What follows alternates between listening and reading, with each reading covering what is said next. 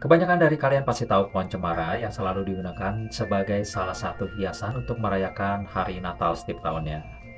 Tanaman ini banyak jenisnya dan mudah ditemukan.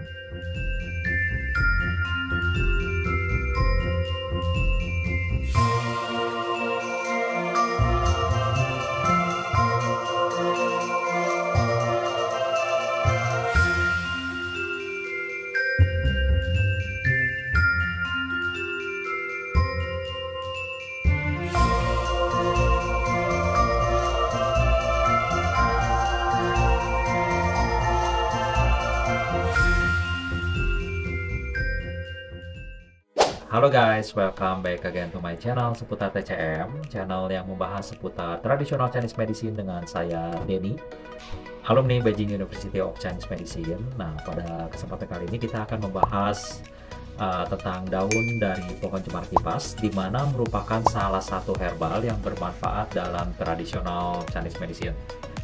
Stay tune.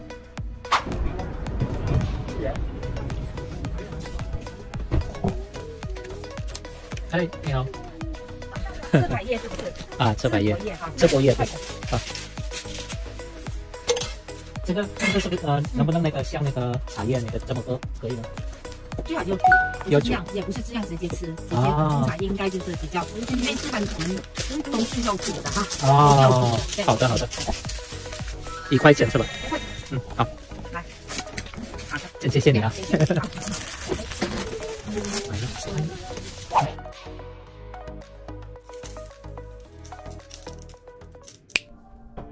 Saat panen diambil ranting daunnya yang lembut. Nah, kemudian memiliki fungsi untuk uh, yang pertama yaitu memberhentikan segala jenis pendarahan, guys. Uh, dikarenakan panas berlebihan pada tubuh Panas yang dimaksud di sini yaitu yang pertama eh, kita sendiri merasakan panas. Nah, pada badan kita. Nah, kemudian hidung sering mengeluarkan darah atau mimisan. Eh, detak jantung terasa lebih cepat, eh, lidah, wajah, dan mata nah, yang memerah, kemudian telapak tangan dan kaki terasa panas, berkeringat tak henti di mana cairan keringat sangat banyak dan terasa lengket guys. Nah, pada wanita eh, menstruasi yang berlebihan, eh, kemudian buang air besar, buang air kecil atau buang air besar ya yang disertai darah dan sebagainya. Namun suhu badan normal guys. Caranya yaitu dengan menumbuk daun segar uh, sampai halus, uh, kemudian sarinya dikonsumsi. Nah, bisa dikonsumsi. Kemudian yang kedua mengencerkan dahak atau phlegm uh, yang sulit dikeluarkan, di mana uh, menyebabkan batuk. Uh, kemudian dapat menyembuhkan penyakit rematik. Nah, cocok buat kalian yang menderita batuk berkepanjangan.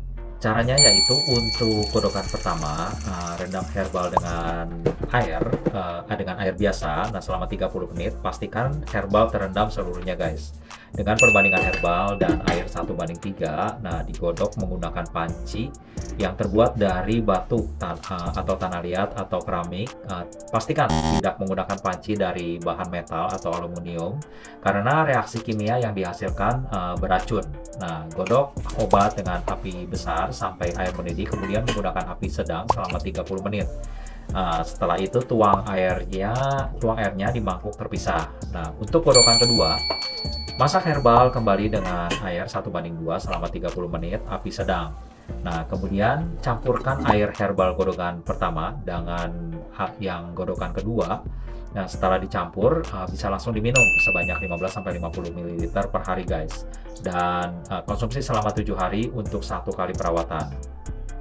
Uh, baunya itu uh, wangi, uh, sedikit segar, uh, rasanya pahit, sedikit kecut dan dingin.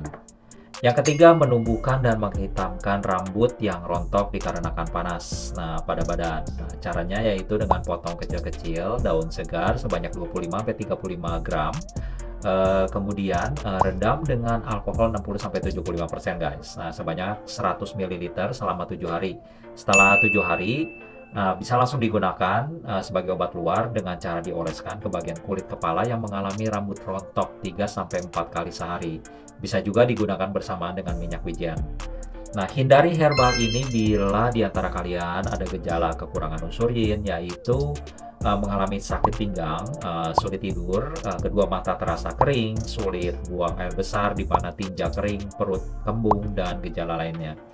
Jadi itu dia tadi fungsi-fungsi dari daun pohon cemara kipas nah, serta penggunaannya. Buat kalian yang suka dengan konten-konten pada channel ini, jangan lupa like, subscribe dan push notifikasi uh, push tombol notifikasi buttonnya untuk menerima video terupdate dari channel seputar TCL.